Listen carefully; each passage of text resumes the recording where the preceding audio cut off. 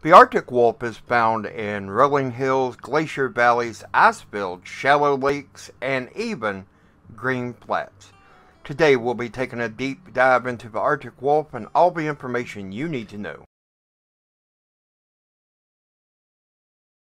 Arctic wolves are between 25 and 31 inches tall. The head to tail is 3 to 5 feet long, and the male comes in weighing at around 175 pounds with the female being slightly less. The maturity level of a wolf male is 3 years and a female is 2 years. Mating takes place in March and the gestation period is only 63 days. The young are called litters and are usually 4 to 5 cubs. Arctic wolves live in packs of 7 to 10 with a diet of Arctic hares, caribou, and lemurs. Interestingly enough, in the wild, the harsh elements leave the Arctic wolf with a lifespan of between 8 and 16 years.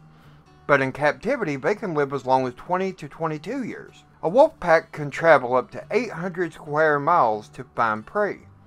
And when the temperatures start to drop, they'll often stalk migrating animals headed south. The pack will consist of a breeding pair, cubs, and unmated offspring. The wolf pack works as one in caring for and feeding the cubs.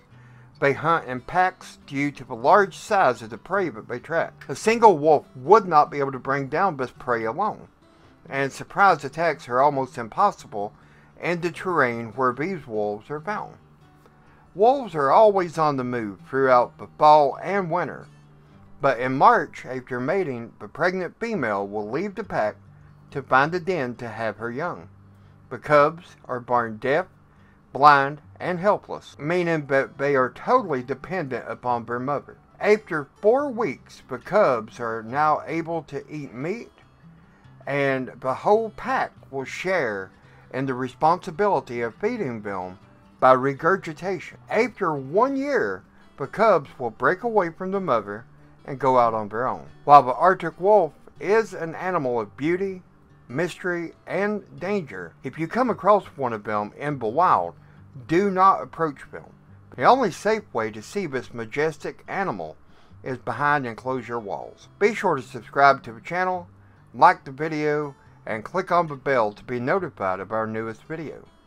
Until next time, keep rolling.